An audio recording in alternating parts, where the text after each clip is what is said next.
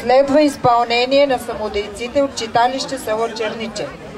Яне и Агне на трапеза и Стоян Сиконче седваше с издигачка Радка Николов. Yeah.